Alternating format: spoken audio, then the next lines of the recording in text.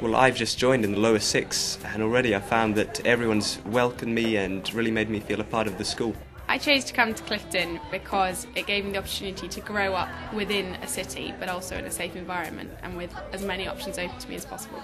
I've found that I've been able to choose any combination of subjects that I would ever wish to do.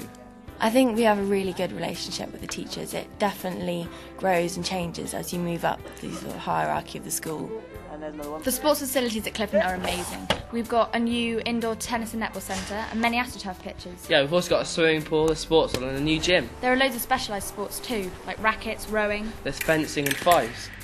My proudest achievement has been acting and directing in the house play in a fully working professional theatre. Um, when I came into the upper school, I was just introduced to a whole new variety of media, different styles like photography, ceramics, everything you could imagine.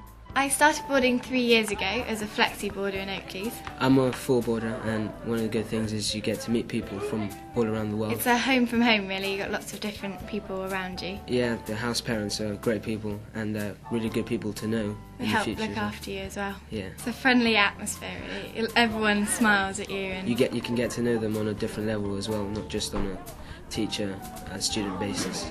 In the CCF, you can either join the Army, where you focus on shooting, uh, the Navy, where you focus on sailing or powerboating, and the RAF, where you focus on gliding and flying. It's a totally incomparable experience, and everybody loves it. Clifton the community is a great way for people to get involved in local primary schools as teaching assistants, in local charities, helping them out, and I'm involved in a local nursing home befriending elderly people. There's so much help from tutors and outside help in preparation for going off to university or taking a gap year or whatever it is you want to get onto. Whatever you choose to do after Clifton, there's always enough advice, whether it's from the Careers Library or other places. I think Clifton develops every aspect of your character so that you could face any challenges in the outside world. I think Cliftonians take the experience of being in an incredible school, being around different people, and having so many opportunities given to them. It's a great feeling.